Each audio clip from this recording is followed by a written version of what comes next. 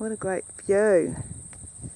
This is looking over into the Bay of Islands.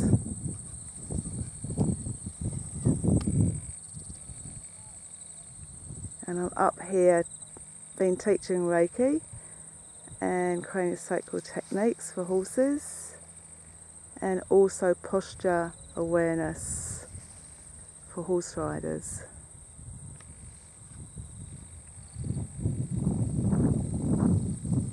Fantastic view over the bay, apart from the pylons.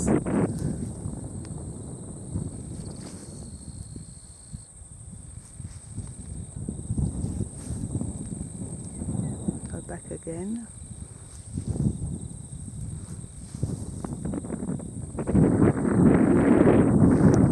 And over there is Opua.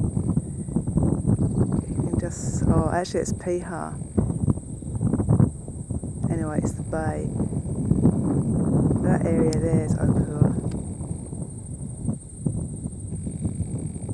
And Paihia is behind the hill.